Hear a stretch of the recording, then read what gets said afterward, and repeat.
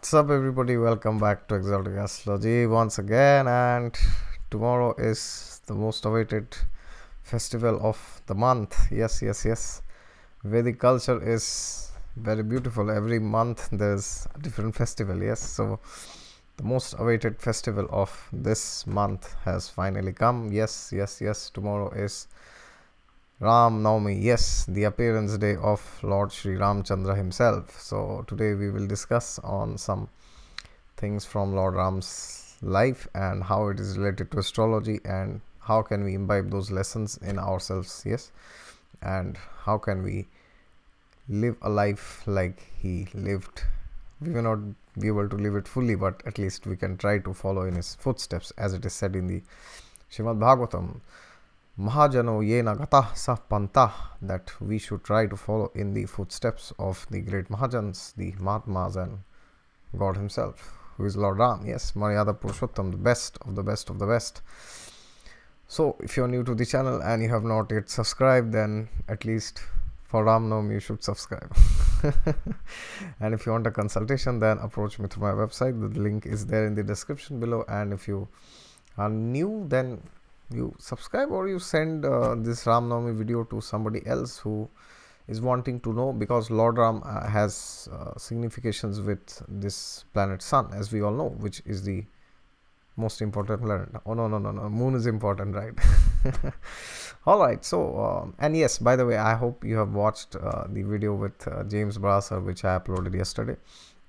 And some of you have been asking me what about that Mars Saturn conjunction video, which you told you will upload on Friday or Saturday. No, no, no I will be uploading that. But uh, uh, many of you had requested for the James Brass video earlier, so I thought, okay, let's take it for a ride. Surprise. and uh, so the Mars Saturn conjunction video I'll be uploading probably by Monday. Yes, Monday promise. That's a promise. okay so what's going on now? Mercury is retrograde. So i'm making this video now. I don't know it will be over or there will be some problem in between. All right so god is there with you all the time. Just look to him and you will find him in the form of lord ram tomorrow yes? So finally tomorrow ram navami has come the ninth lunar day which is the navami tithi. And lord ram was born in the Treta Yuga, as we all know. Yes, he was born as the son of the great, great, great King Dashrath. So many of you had asked me why is the name of Lord Ram's father Dashrath? Yes. Well, there are many reasons for this. One of the reasons uh, why he's known as Dashrath is um, he could simultaneously fight in 10 directions. Yes, that is why he uh, is known as Dashrath. And there are so many other names. So, I mean, so many other meanings of that name, and there are so many other ways in which he's uh, addressed as. Yes, so and he was invincible also. Nobody could uh, fight with him. Yes, he was like all powerful. So, and uh, Dashrath had many queens. He had uh, so many queens, and prime uh, prime of them were Kaushalya and Sumitra and Kaikeyi, as we all know. And the, there's something very important in the story of Lord Ram's birth actually which not many people discuss. So I'll be sharing something on that. Uh, Lord Ram he uh, when before he was born actually what happened was Dashrath was not having uh, any son. He had a daughter whose name was Shanta I guess. Yes Shanta. So uh, this but as a king he wanted a son. So who, who could carry on the dynasty and the lineages? So that was very important for kshatriyas those days. But uh, unfortunately he did not have. Yes? And then he was very much morose. He was unhappy. He was frustrated. He was tormented from inside that after i leave who will take care of my citizens? Yes? Because the son only continues the dynasty. I, mean uh, the rulership yes? The hereditary kingship. So then he thought, I need to do something seriously now. So then he approached Vasishtha Muni and then he requested Vasishtha that please tell me something. How can I get a son? And then Vasishtha said that when you are not able to have a son, then we have to approach higher powers, higher authorities, by who whose blessings we can get a son. Yes. So then he told him that there is a great sage his name is rishi shringa.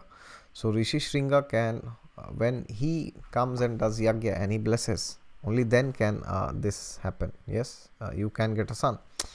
So he said but rishi shringa is not very easy to be pleased. It's very difficult to please him. So it is up to your efforts in uh, trying to uh, please him and impress him and trying to bring him to your city. Yes ayodhya. So that you can get a son and then he did that and then Dashrath Maharaj went barefoot walking without his chariot, without his charioteer, without any of the opulences which he had as a king. And then he went and begged to Rishi Shringa that please come and help me get a son. Please do a yagya or do some ritual by which uh, that can happen. And then when uh, Rishi Shringa was uh, Rishi Shringa saw the humility of Dashrath Maharaj, then he was impressed and then he decided okay i will do a yagya by by which uh, you will uh, get a son.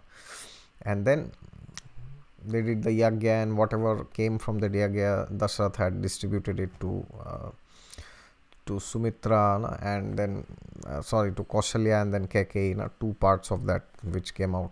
And then kausalya and uh, Kaikeyi gave one part uh, each to sumitra. So like that Lord Ram was born from Kausalya and then Bharat was born from Kaikeyi.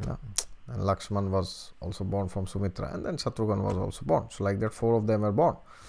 So that shows the important principle here is to know that sometimes we are not able to do something ourselves. Yes, like Dashrath Maharaj was not able to have a son. But by divine empowerment, by divine enlightenment, he could get it so the, the important thing is not uh, how you get a son or what you do in this material world but the principle is that sometimes when we can't do things ourselves sometimes then we might need the help of divine enlightenment divine empowerment. Yes? So by that we when we get the blessings of the great souls as in uh, the fifth canto of Srimad Bhagavatam Rishabdev says to the eldest of his son Bharat Maharaj and all other 99 sons yes? He says Sevanam Api Dwara Vimukteshu, that by serving the great souls, the doors to liberation is open. Yes, so what about uh, things like getting a boy or getting a girl? But it's like the doors to liberation is open. Yes, so Rishabdev, one of the avatars of Vishnu, he uh, specifically tells this to Bharat Maharaj. This is a different Bharat. This is not the Bharat who is the brother of Ram. This is different Bharat. So he tells to Bharat Maharaj that whenever you get the chance to serve a great personality, please do it because then if he or she becomes pleased, then that person will bless you, hopefully. and then you will have those blessings in your life which you have never ever thought you could have. And those are not materialistic benedictions like they can be materialistic also like in india many times people go to their so called gurus and they say guruji ashirwad de dijiye and then the guru will say acha ho shubh ho. But then the question is how do you define what is shubh right? Because uh, for one person the definition of something good can be different and for the other it can be something else. So uh, we need to be very specific. When we ask for boons and blessings and benedictions and generally it is best if we ask for our spiritual elevation our spiritual growth because anyways what's there in our material life in our materialistic karma that will anyways happen to us right? So that's the first lesson here before even the birth of lord ram that when we serve great personalities now now maybe rishi shringa was there those days but maybe he's not there now of course but we can still find so many other great personalities so many gurus so many sadhus whoever we feel comfortable and whoever we feel contented and whoever we feel inspired by we can always go and ask them that sir what can i do for you? Yes yes yes. This is the question which we can ask them. Yes sir what we can do for you? Please tell me what can i do for you. So then then then they may say you that okay go and do this go and do that. Yes. So which will help them uh, spread uh, the mission of spirituality which so many people are spreading these days. So this is one thing which we learned from before the time when lord ram was born. Yes so the, the, this is a very important lesson because Rishabdev says you can even get liberation, moksha, by doing this. So basically, it said that millions and millions and millions of years of spiritual progress, yes, of all the difficult activities, pujas, chanting of the names, worshipping God, doing vrat, uh, following Ekadasi, so many things, all of them can be summarized and in a shortcut you can achieve it if you go and serve a great personality yes as in sanskrit or in hindi they say na sadhu jano ka ki seva karna. So that that is very important. So whenever we get a chance we should always go and donate the things to them. We should always go and uh, ask them that if we can be of some help if we can be like an instrument in their hands yes we can't be much but at least we can try our best. So when we do that then uh, it is very good. So this is what lord ram uh, this is the this is something which is important because Lord Ram is not yet born. He's going to be born tomorrow, right? so today uh, we can uh, maybe maybe today is Saturday also. So today maybe also we can go and uh, do something. Yes, we can do something for.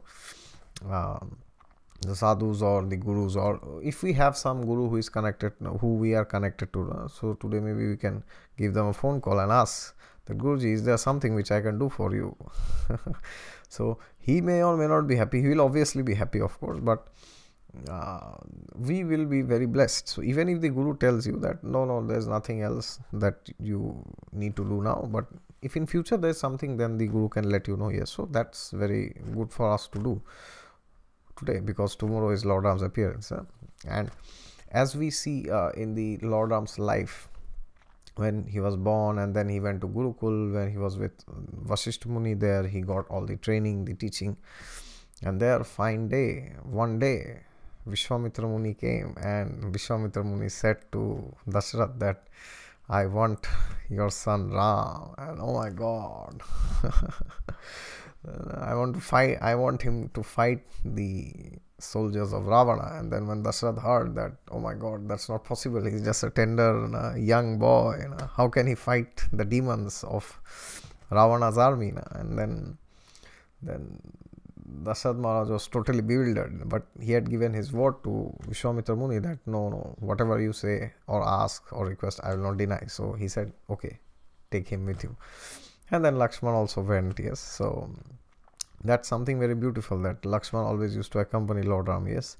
And then when Vishwamitra Muni took Ram and Lakshman, then he, he had killed uh, so so many yes so many demons and uh, and then finally they got married in Mithila in Swamvar of Sita Devi, where Lord Ram had broken that Shiv Dhanush, uh, which which angered Parshuram very much. And when Parshuram got angry, he came down from the Mahendra Parvat and he was like, Oh my god, who is that who has broken the bow of my worshipable Lord Shiva? Today I will slay him.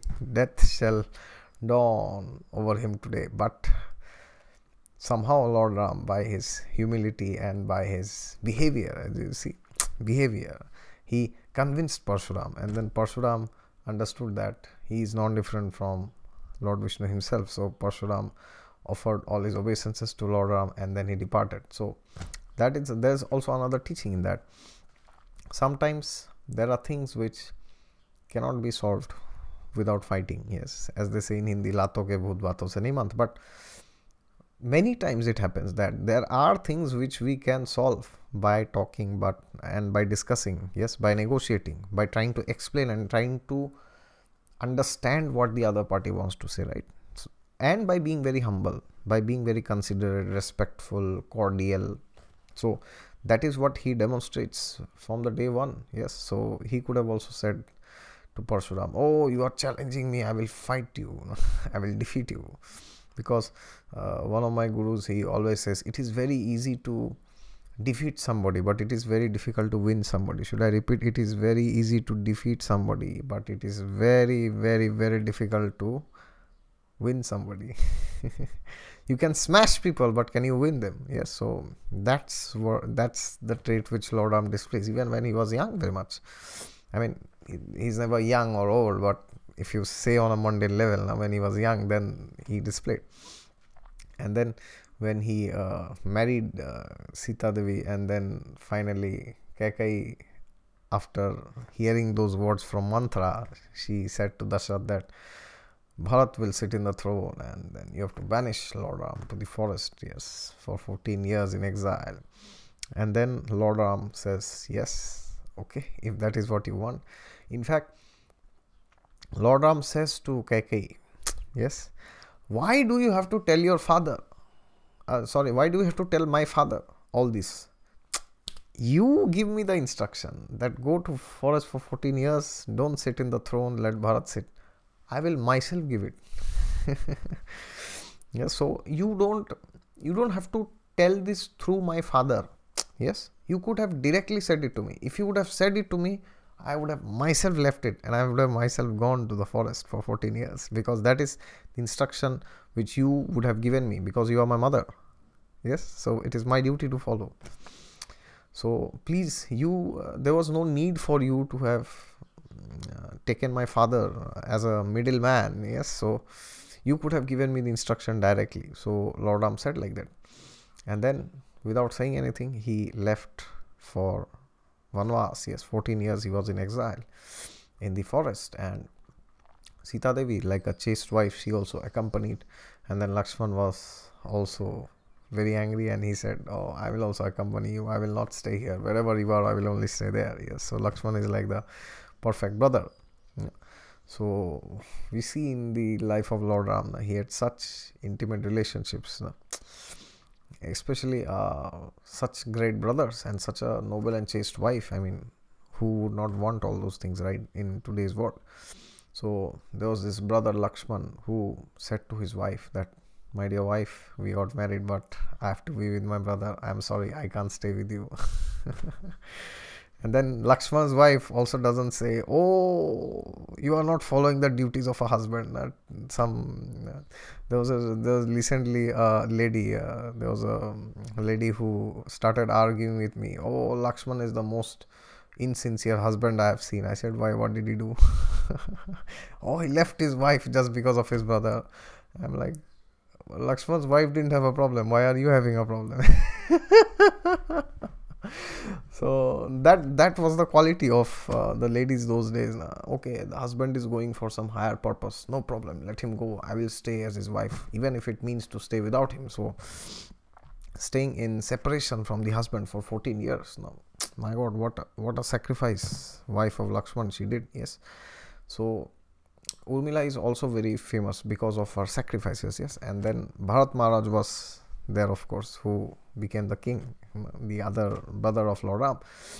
And then bharat maharaj also he could have stayed in the palace and he could have enjoyed all the royalty and all the all the riches yes all the pleasures and all the allurements of the kingdom my god. But he said no if lord ram is not staying i will also not stay in the palace yes. And then shatrughan was the last. He he was the only one to have stayed here. So he stayed back in the palace and everybody else was out. So that's what lord ram's life teaches us. Yes sacrifice. Yes sacrificing things for higher purpose. Yes. So just because his father had given a word he sacrificed the kingdom. He left his life and he left his home. He could have said oh you have given promise. Now it's not my duty. I mean, I mean how am i supposed to suffer for your promises if uh, it happens in somebody with somebody like uh, today in Kali Yuga, then the person will say, "Oh, do hell with your promise. Now you have given promise, I didn't give promise." Yes. Nowadays, even if they give promise, they will not fulfill it. Now, what to speak if father gives a word? That's like that can only happen in Treta Yuga now, those days. So that's what Lord Ram teaches basically, because he's the significator of uh, the sun. Yes, he signifies the Vishnu avatar, which is from the solar dynasty, and that is what sun does sometimes. Sun will purify us. Sun will show us that look my dear sir you may need to sacrifice certain things for higher good for higher purpose for higher cause. Yes? And that is why sun is also the significator of astrology of light of spirituality of divine wisdom of enlightenment. As the prayer goes na om agyan timirandhasya jnana anjana shalakaya chakshur unmilitam yena Tasmai Shri Gurave Namah. The Guru comes and enlightens the being. It he removes the blindness which is caused by the darkness of ignorance. Yes. So that is why when people ask me that, oh, I have a afflicted sun, my sun is with Saturn or it's with Rahu or it's with Ketu or with Mars or with the ruler of the eighth house or the twelfth house, whatever it is. So we can make sure that we try to read the stories of Lord Ram from the Ramayana and we try to imbibe his teachings, values, and life example on ourselves. Yes, because he displayed the perfection in every area, perfect son perfect perfect in everything there's like he's never short of perfection because he's vishnu ultimately so he can he is the only one who can be perfect. So he did not come uh, to uh, do much superhuman activities like lord krishna did but uh, he also had done so many things. Like uh, he when this samudra was not giving him the way then he said that oh with the brahmastra i will burn off this entire ocean today. And then samudra dev he came out and begged forgiveness. Oh my dear lord I thought that in this life you will be behaving like a human, but you are again behaving like God. So I'm confused. Then Lord Ram said, Okay, that's okay. Now let me go. I need to go to Lanka and kill uh, Ravan. Yes, so he is the perfect person in every aspect. So we can we can't be like him, but uh, we can at least try that we follow in his footsteps. And the most important thing Ramnam is impo- is uh, crucial is Lord Ram had killed Ravan. Yes, what does Ravana signify? Ravana signifies lust basically. Yes, because he always lusted on the wives of other men, and that's what happens when you when our lust inside goes haywire. Yes, we indulge in things like watching pornography or enjoying with multiple people or breaking the vows of marriage, doing extramarital affairs, or whatever it is. Any form of indulgence in lust that is going to degrade our consciousness. So the question is who can protect us? Yes, the only person who can protect us is Lord Ram. Yes. So whenever people tell me that, oh, I am suffering from this problem, I am suffering from that problem. oh, I'm married, but I like that lady more than my wife. What should I do? My God. Imagine all these things now breaking apart things and families collapsing. There's such disasters happening these days. So, Lord Ram is the only solution. Yes, he can only protect us from this demon called Ravana, which is inside us. Ravana was killed by Lord Ram, but somehow he always lives eternally in our hearts, right? Ravan is eternal. He's Chiranjeevi. He never dies. My God. and Ravan will live in our heart to the degree Lord Ram is away from us. Should I repeat? He will live in our hearts as our best friend till the time Lord Ram is away so so one of the analogies which i heard was that ayodhya is like our heart and lord ram has gone away from this place yes because we have been indulging too much in materialistic affairs and we have forgotten god yes. That's what happens to people in the mundane society. You go and tell them that oh there's this function this program this satsang can you come? And then people are oh i have to watch the ipl match. I have to watch game of thrones. I have to watch i have my uh, wedding anniversary. I have valentine's day. I have to propose to this girl. Yes i have to take her for a ride do this do that.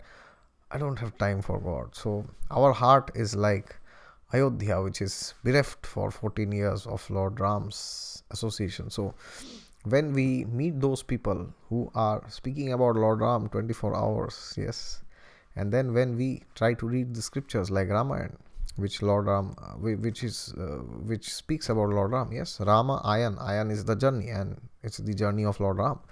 So when we try to imbibe his principles and his ideals in our life by that we will realize that one day the demon ravana which signifies lust inside our heart kama one of the six anarthas that demon perishes yes. And then we will overcome the desires for insatiable lust which is tormenting the living entity all the time. And lord krishna says in the gita Mana manashasthani indriyani prakriti sthani karshati that the living entity being tormented by Mana manashasthani indriyani mind and the senses prakriti sthani karshati he is doing kara he is doing work work work. Yes? Oh i need to impress this man i need to impress my boss i need to impress him. Her oh my god such a big game. so then, uh, when we imbibe Lord Ram's values in our heart, we chant his names Shri Rama, Jaya Rama, Jaya Jaya Ram. and we become like Hanuman, who was ever ready to do any service for him. Yes, he want me to bring the Dronagiri Parvat. Yes, I will bring it. He want me to go to the Himalayas, do this, do that. He want me to do go and burn the Lanka. I will do it. Lord Ram never said to him that go and burn the Lanka, but he burnt it himself, right?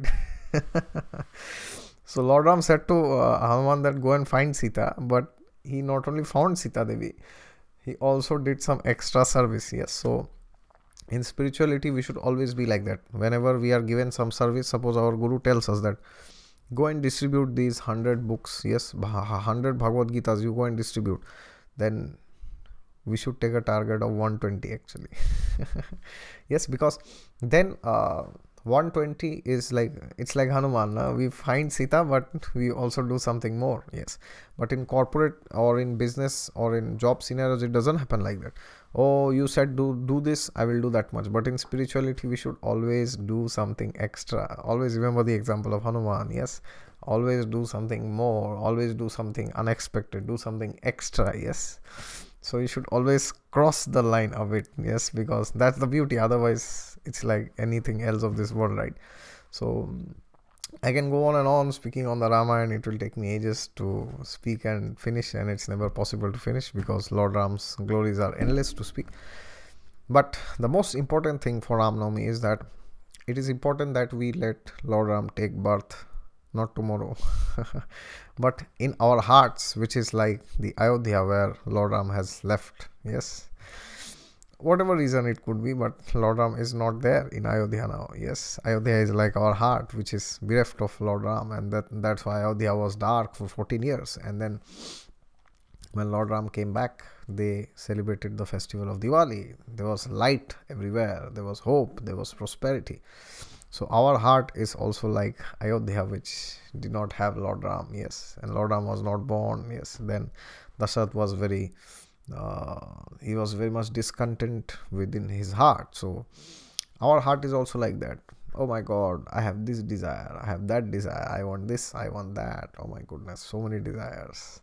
The only desire that is not there is desire to go close to god. So when we cultivate that desire yes by meeting those people who are close to him by doing uh, our mantras properly in the morning by reading the holy scriptures by reading the gita by reading the Srimad bhagavatam by reading the mahabharata by reading scriptures like the ramayana yes by reading the quran or the bible or whichever religion you are whichever text you are um, uh, having a very strong identification whichever inspires you yes.